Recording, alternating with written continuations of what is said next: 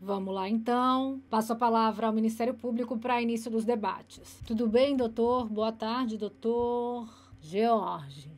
É, excelentíssimo senhor doutor Evandil, doutor George, excelentíssima senhora doutora, juíza do Tribunal do Júri, doutora Neares, é mais uma vez um prazer. Excelentíssima senhora doutora juíza desse egrégio Tribunal do Júri, é mais uma vez um privilégio poder estar aqui representando o Ministério Público em julgamento presidido por Vossa Excelência. Vossa Excelência é uma juíza conhecida em todo o estado, em todo o país, por ser uma juíza justa, por ser uma uma juíza dedicada, por ser uma juíza combativa, que faz todos nós arregaçarmos nossas mangas para ficarmos às vezes até 3, 4, 5, 6 horas da manhã, entregar a prestação jurisdicional à justiça, né? É por isso que a gente está aqui hoje, né? Dá uma trabalheira danada, mas é um prazer, um privilégio poder contar com Vossa Excelência, com o Poder Judiciário, com o Poder Judiciário brasileiro e com o nosso Tribunal do Júri aqui de Niterói, que os crimes que existem de mais graves no nosso ordenamento, os crimes de sangue, os crimes contra a vida, os crimes dolosos, possam ter a resposta da lei, a resposta da causa, é, da justiça aqui e absolvidos inocentes e condenados os culpados e as pessoas que omitiram as provas que venham a pagar pelos crimes que cometeram. Vossa Excelência garante que os julgamentos sejam justos, sejam imparciais, que sejam julgamentos rápidos, sérios, que a gente consegue em um ano fazer toda a instrução, em dois anos já estamos marcados em tempo recorde, conseguimos dar a resposta a toda a sociedade, seja no mérito que cada jurado decidir, mas a dedicação de Vossa Excelência é ímpar e é um prazer estar aqui mais uma vez. Obrigada. Eu queria agradecer também ao Dr. Décio, que encarou o desafio de estar aqui comigo hoje. Queria saudar também, fazer uma saudação, é, estamos aqui hoje, combreados com o Ministério Público, é, com a Ordem dos Advogados do Brasil, na pessoa do Dr. Ângelo, advogado que atende os interesses dos familiares aí do do pastor Anderson do Carmo, fazer, estabelecer contato aí, né, é, junto, o que é raro, né, é, isso acontecer. E mesmo assim, ainda às vezes discordamos também, né? Mas é um prazer e um privilégio também contar com Vossa Excelência. E os senhores advogados, doutor Evandil, doutor Jorge, doutor Gregório. É um prazer imenso estarmos aqui em lugares diversos. Às vezes concordamos, quase sempre não. Isso faz parte, né? Te tem no Ministério Público essa bancada de defesa da vida, do Tribunal do Júri. E a bancada da defesa defende os interesses particulares de cada réu, de cada acusado, e é justo que seja assim em determinados pontos para que se chegue à decisão. Senhores policiais, eventuários, oficiais de justiça e os réus acusados, que a gente faz aqui um trabalho é, profissional, não é pessoal. Entendo que às vezes os senhores fiquem chateados, mas entendo que faz parte do nosso trabalho. É, excelentíssimos senhores jurados, membros do nosso Tribunal Popular, do júri. Mais uma vez é um prazer poder dirigir-lhes a palavra. Tive poder de poder participar de alguns é, julgamentos anteriores com alguns dos senhores, outros não. Eu gostaria de poder fazer uma saudação especial aos senhores. Os senhores são heróis. Não sejam é, adiados, prorrogados, em que haja uma solução. Infelizmente, né, eu tenho que fazer essa ideia aí. Não podemos, né, julgar aí hoje todos os réus. Tá? Estavam previstos, né? Promotor teve que ficar estudando, beirando até meia-noite todos os réus, mas nem sempre todos os advogados comparecem. Como não compareceu o advogado do André, que na minha opinião seria o réu que está sendo acusado, o fato mais grave é a participação no homicídio, é, enfim, né? Mas parece que ele não pôde comparecer, é, circunstâncias, enfim, alheias, né? Então nós ficamos para julgar que hoje os quatro réus que estão aí presentes, o Carlos Ubiraci E os outros três que não estão acusados de homicídio, o Adriano, o Marcos Siqueira e a Andréia, mas estão acusados, estão nesse processo, vão ser julgados por, pelos senhores, porque o crime, por eles praticado, o crime que é imputado a eles, é um crime que é conexo ao crime de homicídio. É um crime que aconteceu no mesmo contexto de um crime de homicídio e consta na mesma denúncia de uma trama de homicídio, consequentemente é devolvido para os senhores, para a sociedade, para o tribunal do júri, a decisão final sobre esse crime também. Eles são acusados, não propriamente dito do homicídio, eles são acusados de ter forjado ou para que tenha contribuído para que fosse forjado uma carta documento ideologicamente falso nos autos, preparando a acusada e outros réus que ainda vão ser julgados. O Flávio já foi julgado e condenado aqui por esse tribunal ano passado, não só por ter executado né, o padrasto com diversos tiros, nove projéteis foram arrecadados, nove disparos de arma de fogo, pelo menos, né? Parece que vários depoimentos foram dados aí de que o Ramon teria recolhido também os projéteis, é, teria tirado. O Ramon é filho da Simone, mexido ali na cena do crime, tentado apagar o sangue. É, o Ramon, ele continua, ele não foi denunciado, porque o inquérito foi desmembrado na nova investigação, que está na terceira fase, que está apurando a eventual participação de outras pessoas. É, o Ramon, a Lohane, enfim o Gerson, o Buba, não sei. Isso está sendo apurado. Essas figuras centrais do GAECO, isso não está presente aqui ainda. As evidências, mas isso não está arquivado. O Flávio já foi condenado em relação à participação dele aí nessa carta, né? Que deu depoimento falso, quanto é uma versão é, mentirosa dos fatos e buscavam efeito é, favorável a outros réus que ainda vão ser julgados. Possivelmente é acusada também aí nessa questão da carta a Flor de Lis. Possivelmente teria engendrado aí essa questão, teria juntado aí as pessoas para fazer essa versão falsa e teria juntado também essa questão aí no, no, no, inquérito, que ela continuava como investigada e seguiu aí na denúncia, que persistiu aí nesse processo aqui, 27478, como também no processo inicial do executor do Flávio. Então seriam dois crimes de uso de documento ideologicamente falso. Seria essa carta que foi forjada por ele, montada no presídio pelo Lucas. Ele admite, ele veio aqui em juízo. Esse processo começou porque o Lucas veio aqui e falou: olha, esse, tem uma carta que está no Fantástico. É, doutora Neares, eu tenho que falar aqui. Isso aí é falso. Eu estava na cela, eu estava no presídio. Eu fui oprimido, eu fui pressionado, me senti constrangido a copiar a carta que o Flávio trouxe. A carta era com a letra da mãe, da Flor de Lis, e imputava e atribuía falsamente a ele mesmo a autoria do crime e imputava o mando e a outros amigos bandidos dele e dizia que o mando teria vindo do, de Misael e Luan. O Misael, no dia seguinte do crime, ele foi na delegacia, apresentou o celular e as provas do crime. Conseguiu, né, obter, ele conseguiu fazer um print, fotografar aquela mensagem que estava no celular do pastor. Ele falou: "Pô, delegado, tá aqui eles encomendaram esse negócio aí. O pastor Anderson foi assassinado com pelo menos nove tiros, é, nove perfurações, pelo menos, com essa arma que o Flávio disse. É, com essa arma que o Flávio falou, a gente não sabe se foram nove, se foram dez, se foram doze, porque o Ramon ele tirou os projéteis, os projéteis foram arrecadados. Esse crime macabro já estava sendo planejado antes. Eu consegui printar, consegui tirar foto do celular do pastor, dessa mensagem que estava encomendando esse crime aqui da casa casa. Isso foi mediante patrocínio, porque a, a versão que estava se apresentando até então era de latrocínio. É, isso não foi latrocínio, porque a primeira versão que estava se apresentando até então à imprensa, a versão trazida pela Flor de Lis, era de latrocínio.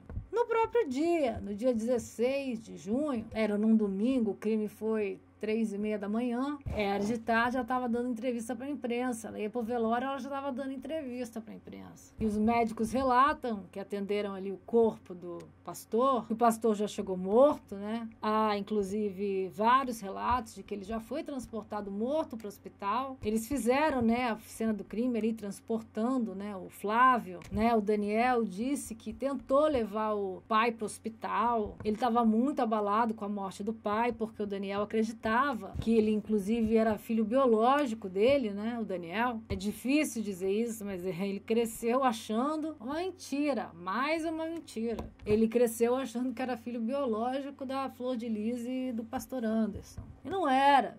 Foi uma adoção brasileira falsificação prevista, civil de nascimento, pegaram da mãe, pegaram lá, colocaram o nome dos dois. Mais um aí para construir, para crescer a família, para ganhar mais arrecadações, vai vender a família, é, vender filme, vender livro, não sei. Vender. Eles vendiam aquela imagem e ganhavam, consequentemente, conversão a partir daquela imagem. Aquela imagem era falsa, né? As testemunhas prestaram depoimento aqui hoje. Havia duas classes de pessoas né, ali dentro daquela casa. Vendia a imagem daquela família perfeita, de que as pessoas estão adotando as crianças, mas na prática havia um grupo que queria privilégios e que queria ser servido pelos outros, pelos adotivos, pelos afetivos. Os afetivos foi porque a pessoa não era nem formalmente adotada, ele estava lá sendo criada ali sem ter uma documentação, formalizando aquela situação de criança, adolescente. Aconteceu até com a Marzia, ela chegou lá, ela tinha 20 anos, mas parece se ela reconhece a Flor de Lis como mãe dela, de criação, de criação, ela chegou lá com 20 anos e parece que ela tem uma dependência em relação à Flor de Lis, psicológica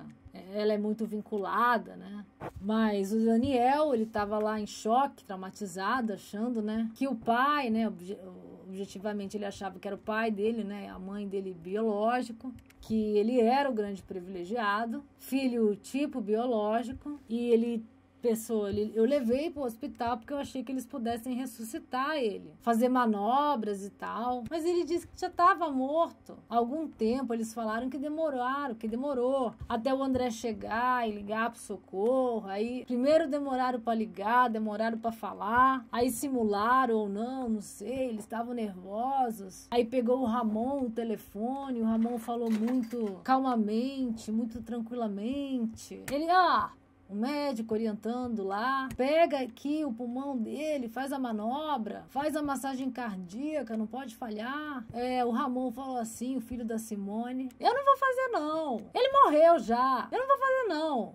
O médico, poxa, eu queria que o senhor fizesse, eu sou médico, eu tô te orientando. Tenta e tal. Ele, não, não, não vou fazer não, não vou fazer nada disso. Bom, e aí desligou. Aí o Flávio Daniel, não, tem que fazer alguma coisa. Aí levaram pro hospital. Ele chegou morto lá no hospital, já depois do crime. Flor de já tava com os médicos avisando detalhadamente, não, porque tinham duas motos perseguindo a gente. Quando a gente chegou lá, eu achei estranho, a gente tava voltando do Rio. Aí apareceu um carro prata, esse carro prata tava fazendo assaltos na localidade. Ele, ele morreu, foi um latrocínio, foi um assalto. Foi um assalto, mas não levaram nada. Tava lá o relógio, o celular, até a mochila com dinheiro. Mas no próprio dia deu entrevista pra imprensa, né? Aí do lado recebeu outros filhos, né? Do Carlos, dizendo: não, ele morreu defendendo a família. Ele tava lá, foi um assalto, essa violência do Rio de Janeiro, que absurdo absurdo! Que absurdo essa violência que assola esse país! Peraí,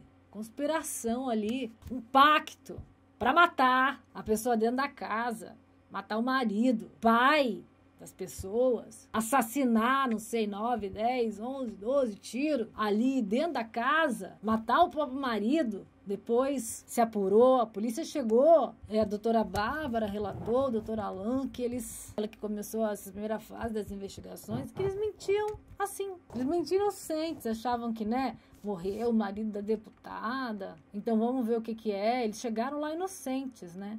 Eles pensaram, morreu o marido da deputada em casa, vamos lá ver o que que é, né? Aí eles começaram a ver que as reações, né, estavam estranhas, né? Aí eles chegaram na casa, tinha lá 40 pessoas morando lá, que já imputavam, já meio que atribuíam ao culpado perfeito, que era o Lucas, que era um menino de 18 anos, que era um filho que não se dava muito bem, porque tinha ido para o mundo do crime, tinha ligação lá com drogas, trabalhava na boca, já tinha sido preso pelo tráfico, ele tinha, já tinha sido preso, então ele ia cumprir pena. Então tudo ia cair em cima do menor para dizer que foi ele. E ele, o Lucas, se ligou que era um plano, que ia cair em cima dele depois que caiu essa versão do latrocínio. Não faz o menor sentido. Ia ter sido o Lucas, ia ter sido atribuído toda a culpa a ele. O Lucas e os bandidos, os amigos dele, foram lá e tal. Aí os policiais chegaram na casa e todo mundo já falou: o Lucas, o Lucas, o Lucas. Foi o Lucas, foi o Lucas, foi o Lucas. Eles achavam que ninguém ia ter ciência, né? Desse projeto macabro, dessa trama macabra desse plano bárbaro que chocou aqui a nossa cidade, nosso estado, esse país. Caso de comoção nacional bizarro. Aí descobriu-se, começou a se pegar o fio da meada, foi ver, se viu que era uma seita, né? Várias pessoas falam isso nos documentos, nos depoimentos. Era uma seita, eram cooptados. Os meninos eram cooptados. 20 anos atrás, quando tinham 12, 13 anos, Flor de Lis com 30, levou os meninos para dentro de casa, tirou das famílias famílias, falava: você não é mais filho do fulano, você não se chama mais isso, você não se chama mais Alexandre, você se chama Luan.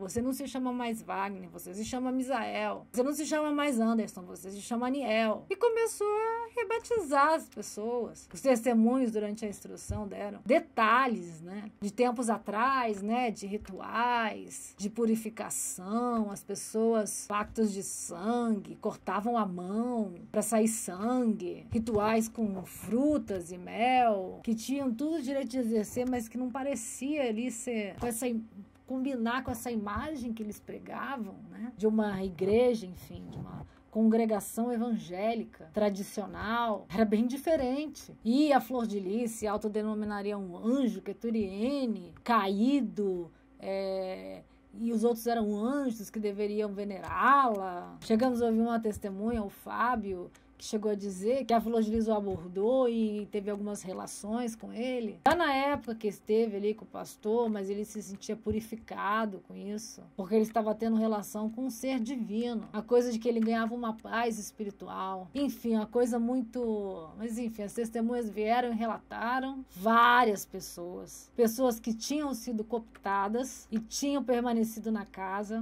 A doutora Bárbara chegou a dizer que várias pessoas foram lá, mas não tiveram coragem de assinar o depoimento, de colocar a cara, porque tinham vergonha de ter participado disso, de ter sofrido é, aquela lavagem cerebral que era feita ali. Tinham vergonha. Mas várias vieram, deram depoimento, inclusive aqui em juízo, e trouxeram esse panorama, esse contexto bizarro, né? Essa seita que acabou pegando as pessoas, subtraindo crianças e adolescentes, nem sempre de forma regular, às vezes com adoções, falsificando o registro civil, às vezes com subtração, né? Pegava crianças, depois tentava lá regularizar, ou não, o que, que ia fazer, aí depois outras pessoas pegando filhos dos outros dentro da casa, uma coisa estranha, né? Isso aí até há pouco tempo tem aí uma das filhas, uma das filhas do Carlos era filha da irmã do Anderson, a Michele. A Simone acabou acabou de pegar o filho de uma outra irmã que morava na casa, da Vânia. Ela adotou, ela foi lá formalmente, adotou. Inclusive deu até um problema isso. Quando ela adotou, quando ela quis, quando o André, ex-marido da Simone, o atual marido, não sei, o relacionamento ia e voltava. Como o André tinha um cargo de assessor lá em Brasília, da deputada, e grande parte deles vivia dessa imagem, que é a família, né? Construiu, os privilegiados, tanto nessa área artística, né, quando o Anderson conseguiu o contrato com o Harold de Oliveira lá na MK, as pessoas falaram que entrou muito dinheiro na casa, e quando entrou muito dinheiro começaram os problemas, porque os filhos biológicos e próximos queriam os privilégios e não tinha para todo mundo e eles queriam ficar com cada vez mais. Tinham filhos que tinham plano de saúde e tinham outros que iam para o hospital público. Tinham filhos que comiam salmão e tinham outros que comiam arroz com linguiça ou arroz com arroz. Depois que o pastor morreu, o privilégio cada vez maior. Para os filhos próximos, né? Os filhos ligados aí, a família da Simone, a Flor de Lis, propriamente falando comprando iPhone novo, celulares de última geração, caros, e os outros adotados e socioafetivos e tal, comendo arroz com arroz. E isso, né, gerando Talvez isso que o pastor quisesse aí evitar ao tentar fazer aí uma gestão do dinheiro na casa, né? Todo tesoureiro é aí antipático, né?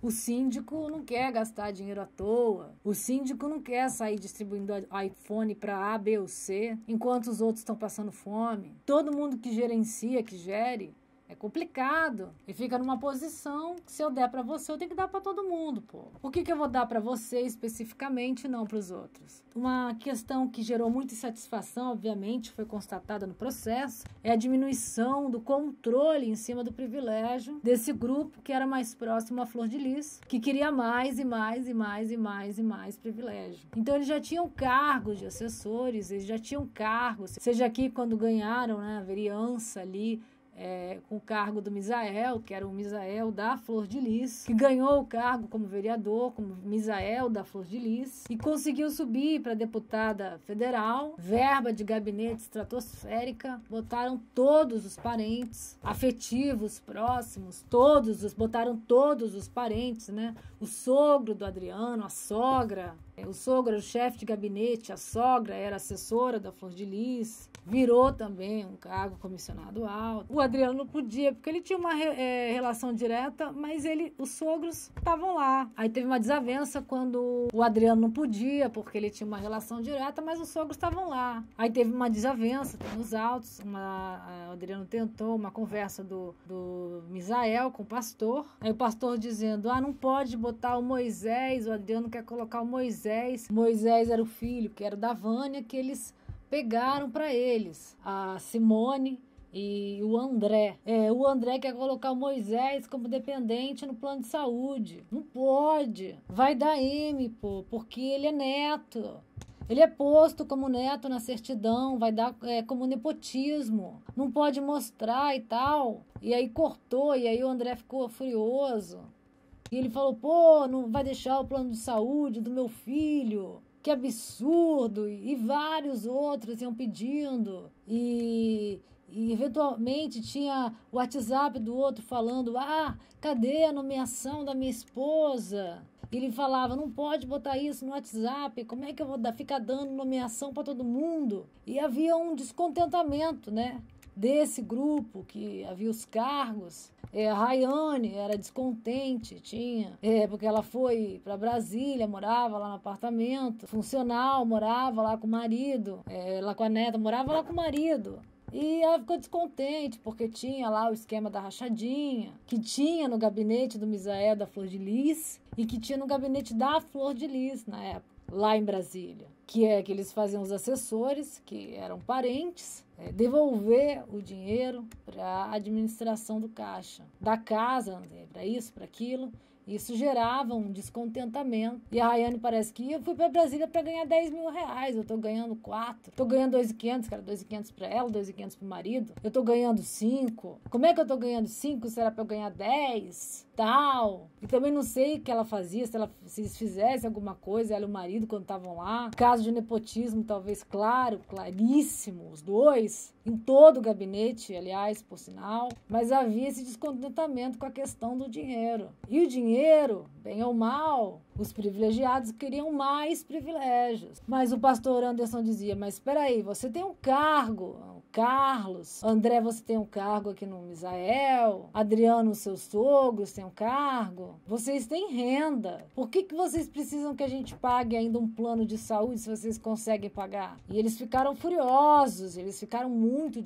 Isso está nos autos, eles ficaram muito descontentes com essa questão. Ah, ele é muquirano, ele é miserável, né? O André fala, esse miserável é um monte de vaca, um merda, tem que dar pra gente. E os outros ficavam lá, comendo arroz com ovo, arroz com linguiça, né? Comendo o que tinha, o que sobrava, usando as roupas que sobravam, estudando em escola pública. Os filhos da Simone estudavam em escola particular e os filhos dos outros estudavam lá, né? O Lucas, quando iam na aula, os outros, o Lucas estava aqui, fazendo a terceira série, com 18 anos terceira, quarta ou quinta juntas. Como é que é isso? Porque ele estava com 18 anos, era para ele estar, tá, se não tivesse no segundo grau, que pelo menos estivesse no fundamental numa sétima, oitava série. Não, o cara estava na terceira, quarta série, quer dizer, o cara mal sabia ler e escrever, mal sabe se fosse seguir, se uma criança que fosse começar do primeiro teria com 9 anos. Ele estava com 18. Aí bota uma carta para ele escrever um texto. Veio por meio desta carta, não sei o quê.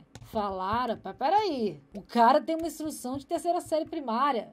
terceira série fundamental, sei lá. Tá escrevendo uma carta com texto gigante, a Regiane falou: peraí, o Lucas não sabe escrever essa, essa, carta, não, esse texto não. Não sabe escrever texto nenhum. Ele escreve um bilhete, uma coisa, uma coisa muito simples. Mas ele deram esse texto para ele escrever, enfim. E ele copiou. Agora, ele estava lá no tráfico, né? Ele foi, a Regiane ofereceu um trabalho para ele, ele foi, ficou dois, três, quatro anos trabalhando lá. Mas Lucas era, enfim, um adolescente que tinha uma vida difícil. Ele estava nessa casa, nesse hospício, né? Esse tratamento desigual, ele estava revoltado. Ele estava revoltado porque eles tinham que trabalhar, os adotados, os adotivos tinham que trabalhar, tinham que fazer serviços, tinha que jogar lixo fora, tinha que cortar grama, tinha que cuidar da piscina, tinha que ser babá. A Bruna, a irmã dele, era babá da Rayane. A Bruna, a outra irmã, foi ser babá da Rayane. A Gabriela ia ser babá dos outros bebês. A Marzi mesmo era babá do bebê do Misael. Então eles estavam ali meio que para servir aquele grupo ali que eram os privilegiados, os grandes nomes ali da família. E eles queriam cada vez mais. O pastor tentava gerenciar aquela casa, coibia um pouco, diminuía um pouco esses privilégios. Isso gerava uma insatisfação muito grande no grupo, ligado ali com os privilegiados. O Lucas ficou irritado com aquilo, ficou é, revoltado com a situação. Lohane acordando meio-dia, Lohane acordando uma hora da tarde, sem ter que fazer nada. A própria Simone não teria funções ali na casa. E eles tendo que trabalhar, eles tendo que cortar grama, eles tendo que cortar piscina, é,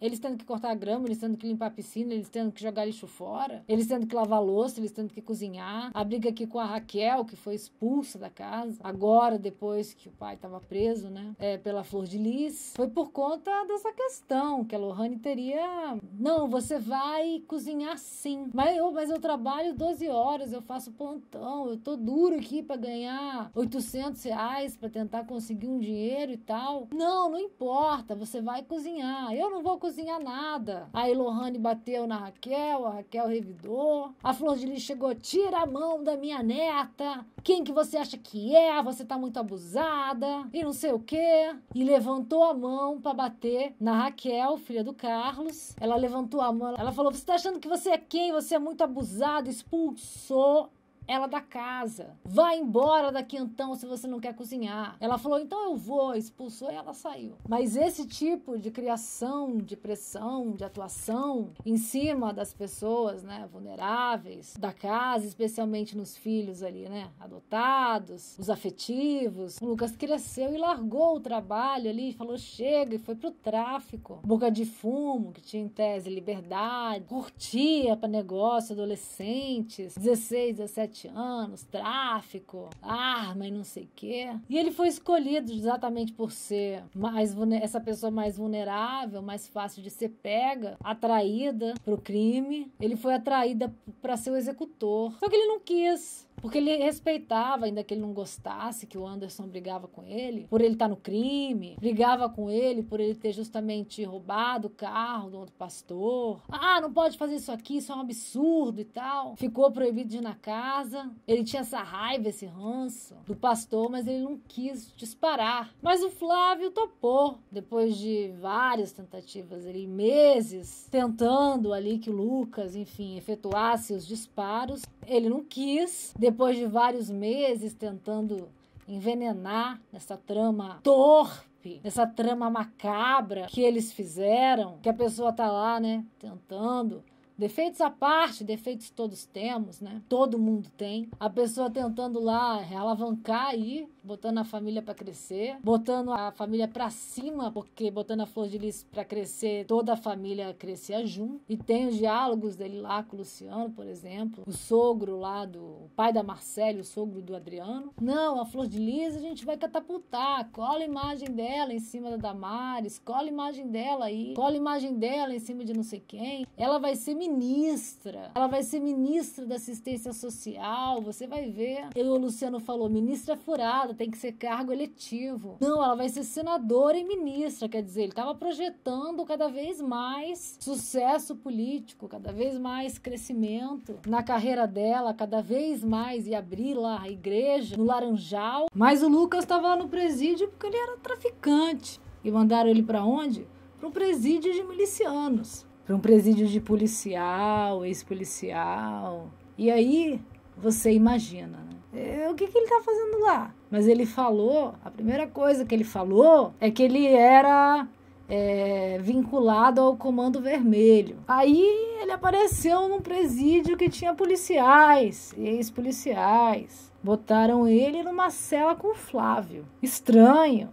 E o Flávio ali falando: você tem que fazer isso, você tem que fazer aquilo. E botaram ele em contato com o Marco Siqueira é ex-policial, estava ali cumprindo pena, 14 anos, ainda tem mais 16 anos para cumprir, né? Tá cumprindo 30, como ele falou aqui. É condenado a 440 por 29 homicídios na chacina da Baixada. 29 vidas, está condenado por tirar. O cara tinha moral na cadeia, era faxina, é, tinha livre trânsito ali pelas alas. Ele chega pro Lucas e fala: Ô Lucas, para de brigar com seu irmão.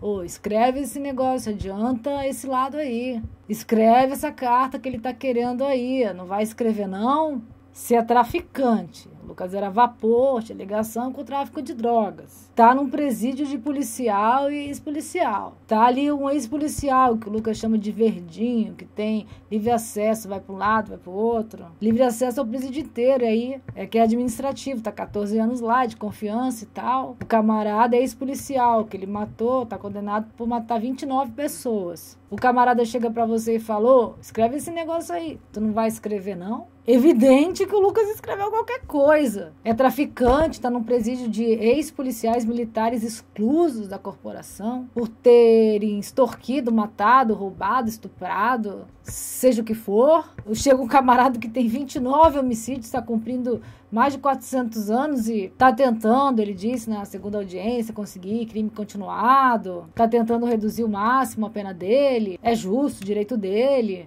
Mas você é o Lucas, comando vermelho, ligado ao tráfico, naquele ambiente hostil. Te colocam lá, você não sabe quem te colocou lá. Eu quero num presídio comando vermelho, que é onde eu tenho meus amigos. Aí te colocam num presídio de ex-policial, grupo de extermínio, é, ex-miliciano. É, aí chega um, um ex-policial com mais de 400 anos para cumprir e falou: Lucas, como é que é? Escreve isso daí. Não vai escrever, não? Vem cá, vamos sentar junto ali. Me entrega uma carta, ó, o Flávio junto dele. E é claro que o Lucas não parecia ter outra opção a não ser ceder. Só que daí chegou aqui no dia da audiência, na delegacia, ele falou: Ó, oh, não quero. A primeira pessoa presa foi ele, porque ele tinha um mandato lá do tráfico, né, quando ele era menor, que ele não tinha cumprido, ou a medida socioeducativa que foi colocada, então ele foi preso. Aí quem quer comanda colocar ele sozinho? Ele não atirou. Ele só ajudou o Flávio a comprar arma. Ele tava achando ali naquele dia que não era no mínimo justo ele pagar tudo sozinho, né? Naquele dia, né? Aí ele disse, né, pra doutora Bárbara, ele começou a dar essas pistas. Ele falou: olha, o Flávio tem um mandado de prisão também contra ele aí, de violência doméstica. Ele tava mandando foto de arma pra ex-mulher dele, dizendo que ia matar, que, que história é essa dela tá namorando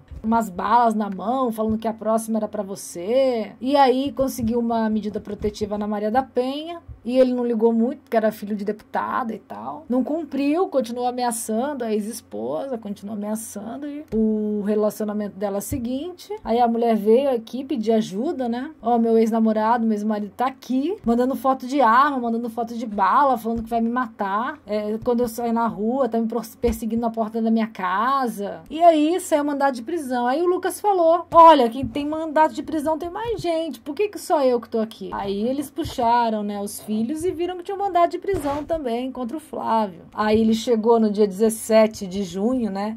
Que foi ali quando ele foi preso.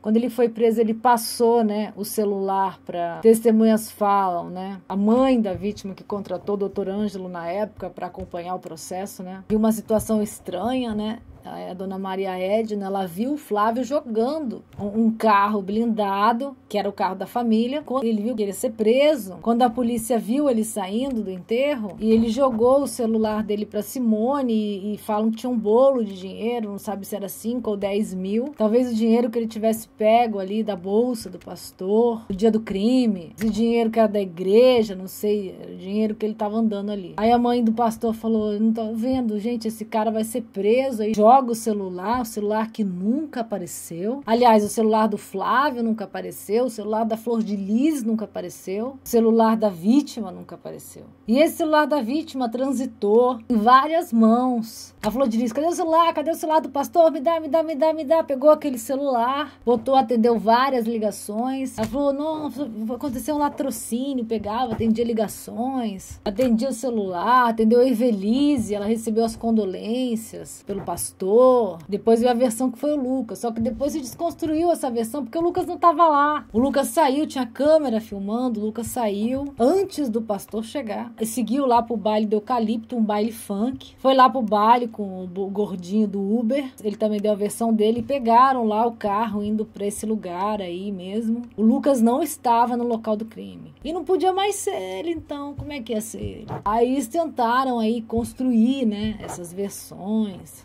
Esse celular passou em várias mãos ali. A Flor Delis pegou da mão do Buba. Era uma pessoa ali que era muito amiga de todo mundo, né? Ele teve um relacionamento com a Simone. Ele era muito amigo do pastor. Ele era muito amigo de todo mundo. Pegou o celular para ele. Aí só que a Flor Delis começou a falar: Buba, me dá o celular, Buba, me dá o celular, ligando ali para ele, né? Só que o Misael sabia que tinha aquela mensagem, né? Da encomenda do crime pro Lucas: 10 mil só que tem que matar quando eles forem comprar o carro, a placa vai ser essa, eu vou te dar. Então Misael sabia que tinha esse detalhe ali no celular do pastor, então ele chamou o Buba, né? Aí ele foi lá e printou aquela foto e mandou para ele mesmo. Mandou para ele mesmo por WhatsApp, mandou para ele mesmo por e-mail. Ele é, mandou, tinha uma foto daquela mensagem do plano homicida no celular do pastor. O que, que ele fez? Ele foi na delegacia, ele falou: Olha só, doutora Bárbara, Mataram meu pai. É uma questão esquisita, né? Que o pai tem a mesma idade dele, mas tudo bem. Mataram meu Niel, mataram o pastor, o pai da família. E eu tenho algumas provas, eu quero mostrar para vocês. Eu consegui aqui, isso aqui tava no celular do pastor. Eu printei, eu, eu peguei o celular, eu mandei para mim, tá aqui e eu vou mostrar para vocês. No dia seguinte do crime, dia 17 para 18. E aí tomou o depoimento dele, tomou o depoimento do Daniel e somou também com a questão que o Lucas começava a falar que o Flávio tinha mandado, também tinha envolvimento. Lucas falou: eu só fui comprar arma, tal. Ajudei o Flávio, mas ele que tava lá, ele que pagou. Aí o Flávio acabou confessando dois dias depois e falou: não, eu mesmo que atirei e tal. Criou uma historinha que não faz nenhum sentido, uma historinha ridícula. Ele falou: não, eu cheguei lá é, para matar o Lucas. Porque eu achei que ele era uma ameaça. Aí o policial falou: Mas como? Você achou que ele era uma ameaça e foi comprar uma arma pra... com ele? Foi pedir uma arma para ele? Ele falou, eu fui, mas eu fui para me defender dele. Estranho isso, né? Eu vi que ele tinha entrado lá, eu esperei uns 15 minutos, vi que ele saiu, eu desci. Aí achei que ele ia fazer uma maldade lá com a Lohane, porque o Lucas não gostava da Lohane. Aí eu não vi o Lucas não, mas eu vi o pastor e resolvi atirar porque eu tava com raiva. Porque a minha mãe tava falando que ele tava roubando lá em Brasília, inventou essa história para criar essa construção. Não, ele tá sediando. Aí eu lembrei, não, desci pra matar o Lucas, não achei o Lucas então vou matar o pastor. Aí disparou a arma 10 é, é, bala de fogo no pastor. Uma história sem pé nem cabeça. Dois dias depois, na unidade é, policial, ele apresentou essa versão. O Lucas foi chamado. Aí o Lucas falou: Não, mas eu só fui comprar arma. Aí ele falou: Não, mas você dividiu o dinheiro comigo. O Lucas falou: Eu não dividi nada, não. Você que pagou. Aí a discussão começou assim: quem tinha pago, se o Lucas já paga uma parte, se o Flávio que tinha comprado, a cariação deles é, foi filmada, eles estava lá tranquilo, o Flávio dando depoimento. Tem até uma questão que o Flávio está numa posição até arrogante mesmo. O Flávio está com a perna aberta, abriu a braguilha tá com o pé bem à vontade, prestando depoimento. Mas o policial foi deixando ele falar porque ele estava é, sendo filmado e o importante é deixar ele falar, apresentar a versão, por mais ridícula que seja. Só que aquilo, aquela versão, eles não queriam. Aí começaram a dizer que não, que o Flávio estava sofrendo maus tratos na DH, ele tá sem escovar os dentes, sem tomar banho. Os advogados registros todos, visitas sucessivas. Os advogados iam lá na DH prestando toda assistência jurídica. Ah, não, porque ele pediu Novalgina e recebeu de pirona. Depois que o Flávio confessou, ele tinha que dizer que aquela confissão não valia ali, tinha que falar alguma coisa. Aí parece que o Flávio falou pro Lucas: não, você tem que assumir tudo, que essa confissão zero, não vale nada. O Flávio falou: eu vou dizer que eu fui torturado. O Lucas falou: pô, mas eu fui bem tratado. Eu não vi tortura nenhuma, eu fui, eu fui bem tratado. Eu vou dizer que o policial me torturou. O Lucas falou: não bateram na gente, não fizeram nada. Como é que eu vou falar isso? Aí, é... não, fala, fala. E acabou que nessa carta, a versão que o Lucas tinha que copiar, dizia, entre outras coisas, isso. Ele assumia tudo para ele, dizia que ele tinha sido, junto com os amigos, o autor dos disparos e dava o mando do crime ao Misael e ao Luan, que era parte da família que tinha rompido e tinha falado: ó, oh, isso aí é homicídio, a gente pode discordar, pode ter opiniões diferentes, a gente pode ter essa questão do privilégio, tudo, mas, pô, mataram uma pessoa. Eu não vou ficar aqui dentro dessa casa se mataram uma pessoa aqui dentro dessa casa se a mãe, se os outros, se Simone, se Marzi mataram. Primeiro tentaram envenenar, depois assassinaram. Peraí, é um motivo? Isso daí não dá pra gente compactuar com isso. Isso aí uma parte da família falou. E aí, outra parte da família, e a gente inclui posteriormente ao crime, o Adriano. O Adriano falou: ah, a família dividiu? Dividiu. Dividiu entre aqueles que matam e querem impunidade para eles, para aquele crime, aquela coisa macabra, aquela associação criminosa voltada para garantir a impunidade dos acusados e as pessoas que foram na delegacia denunciar e falaram: peraí, ó, mataram uma pessoa aqui dentro de casa. E foi aqui dentro, essa história que é assalto, essa história que foi o Lucas. O Lucas não estava no lugar, se viu que o Lucas não estava lá, mas ele era o suspeito perfeito, né?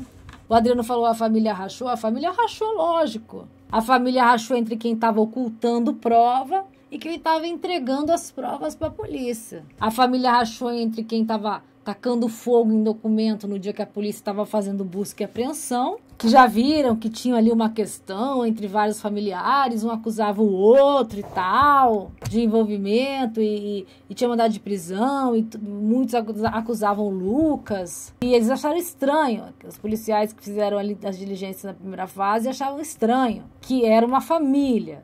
Morreu uma pessoa dentro da casa e ninguém quer ajudar na investigação, todo mundo tá querendo atrapalhar a investigação, tá todo mundo querendo criar versões, impedir o trabalho da polícia. É, é esquisito isso daí, né? E foi requerido e foi deferido uma busca e apreensão dos celulares dos que moravam na casa. E quando a polícia chegou lá, Estavam tacando fogo nas coisas. Estavam queimando documento. A doutora Bárbara até falou que antecipou, saiu correndo, porque eles iam cumprir mais tarde. Mas receberam informe lá dos vizinhos que estavam fazendo uma fogueira na casa. Estavam queimando tudo, estavam queimando papel, estavam queimando documento, queimando provas, queimando as coisas ali. Nunca tinham feito e nunca faziam fogueira dentro da casa. A polícia apareceu para fazer o laudo local, estava tudo em cinzas. A família dividiu em quem estava apresentando as provas e falou: não, a gente quer que seja julgado, a gente quer que apure isso aí. E que estava é, tentando é, ocultar, destruir provas, subtrair celulares, jogar no mar o celular, tentando colocar. Outra falou que a Simone colocou em cima do ventilador de teto o celular.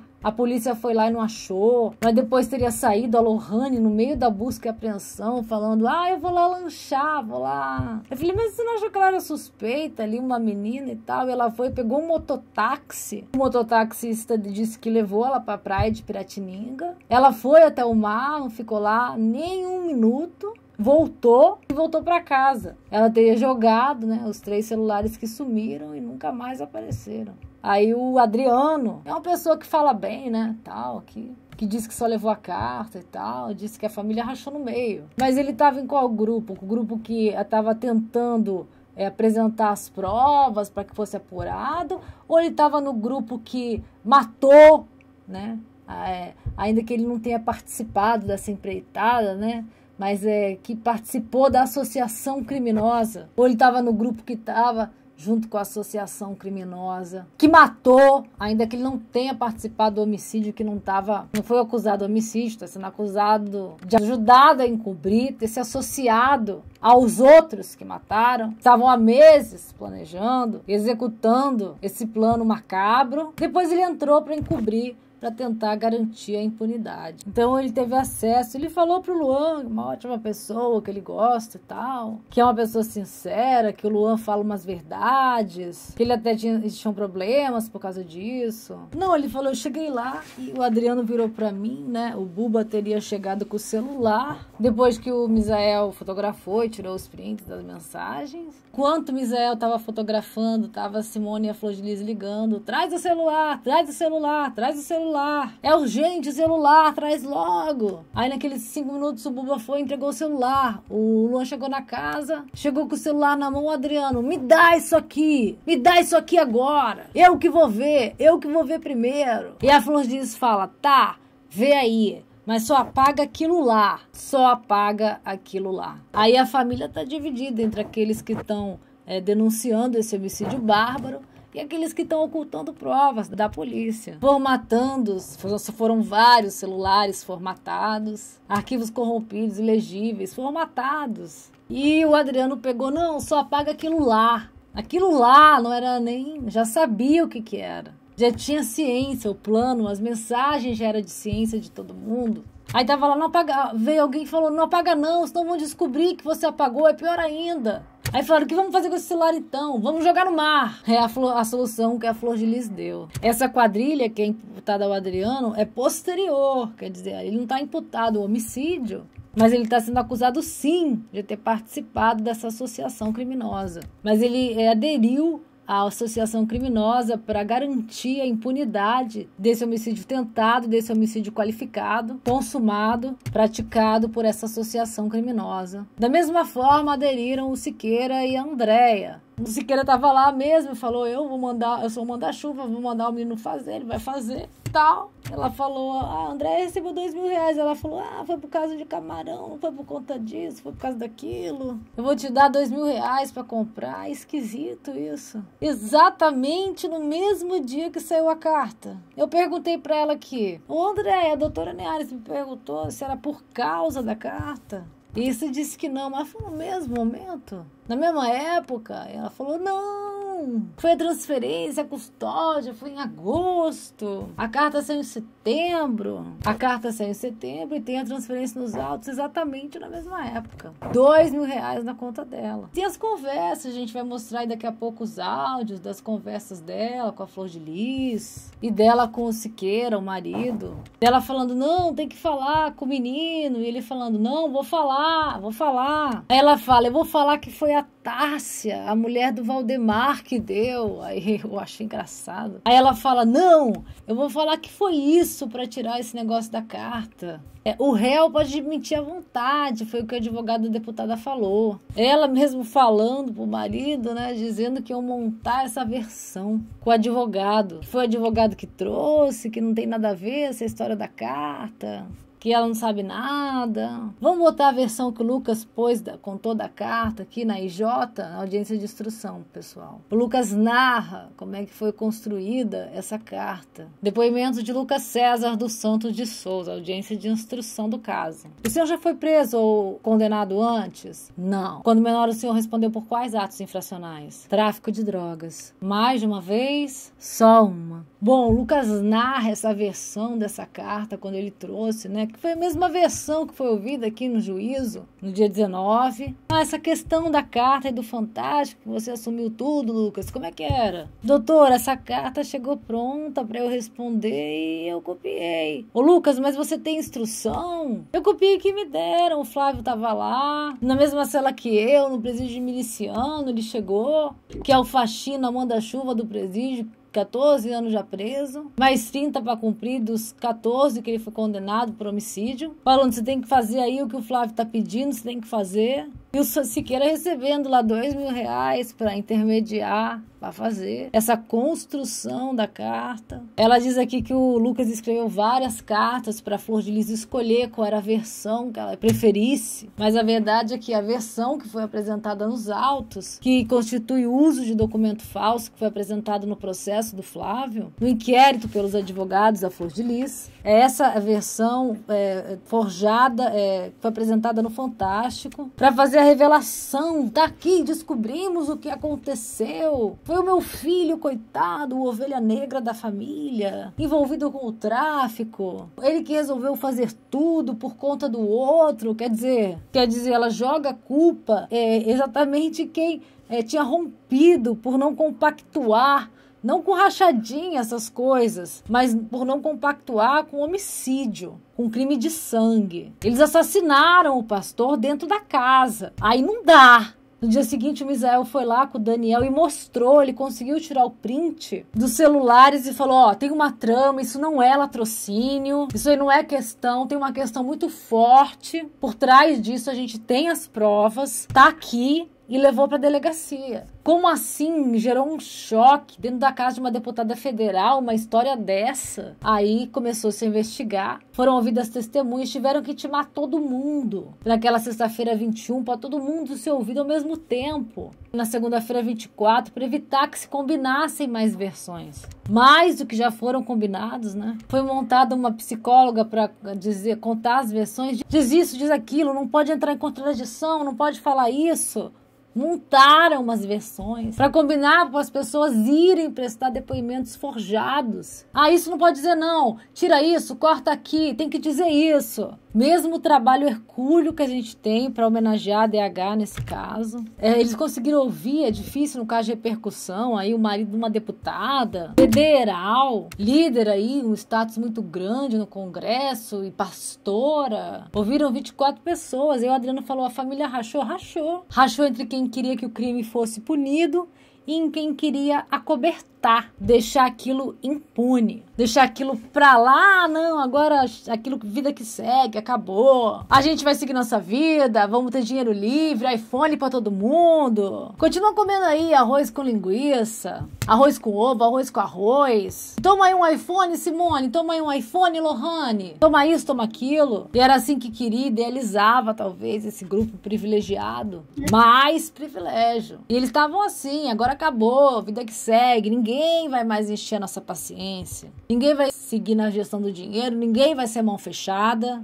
Toma aí, André, toma aí, Simone, toma aí, Rayane. Ganhe o dinheiro, gaste o dinheiro que é de vocês. E deixa os outros morrendo de fome. Deixa os outros trabalhando pra gente de graça.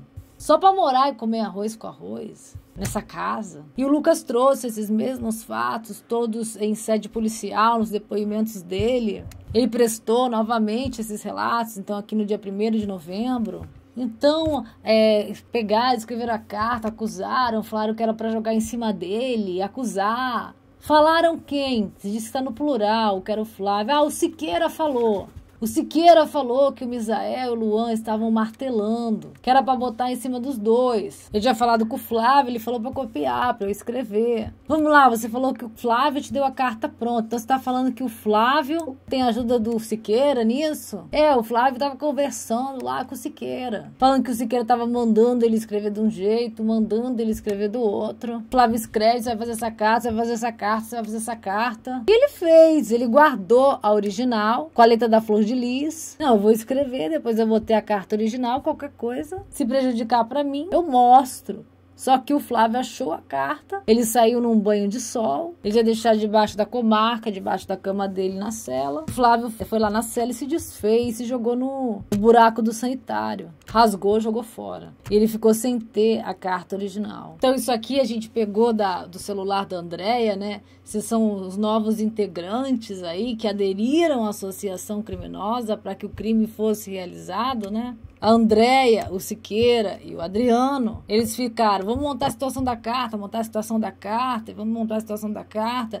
Esse aqui é o gráfico do celular da Andréia que foi feito. Eu tenho o gráfico de interações do celular dela com o celular da Flor de Lis. Isso é exatamente a data da audiência e que o Lucas ia falar ou não a nova versão sobre o homicídio, mantendo aquela versão da carta. Foi em 1 de novembro. Aí ela começa a falar e vai em outubro. Aí aqui é é outubro, é horário de verão, eu acho que ele fala. Desce, vai, começa a falar, e outubro. Aí chega aqui, dia 31, CZ0, é, é o horário de Greenwich. Então tem que tirar três horas, né? Então aqui não era uma hora da manhã. Mas ela vai falando, às 17 horas, ela vai falando com a Flor de Lis. Uma, duas, três, quatro, cinco, seis. Na data da audiência, na data da audiência. Falaram aqui 200 vezes. E esses horários aqui, ó, 11 e meia da noite, 11 e 23, 11 e 32, 11 e 33. E a audiência acabou e elas são nervosas. Como é que é? O Lucas vai voltar? Não vai voltar? E menos três horas aqui, hora de Greenwich. A quantidade de interações que foi feita de WhatsApp, de ligações. É como é que é? Ele, como é que vai falar? Ele vai manter versão? Não vai manter versão? Ligações e mais de meia-noite já. 31 de outubro. Foi data da audiência. O Lucas, a audiência foi interrompida dia 31 e foi continuada dia 1 Aí depois tem o celular da, da Andréia Siqueira, né? Oi, amor. Oi, não fala nada do processo na ligação. Ok, tá tudo gravado. Quando alguém falar, você fala que é a esposa do Valdemar, que é a esposa do Valdemar. Ela combinando essa versão, que era a versão já do... Quando você falar, fala que é a esposa do Valdemar. Já falei isso, mas tá tudo na paz. O réu pode falar, e ela fala aqui: o réu pode falar o que quiser para se defender, inclusive mentir. Foi isso que o advogado da deputada falou. thank you.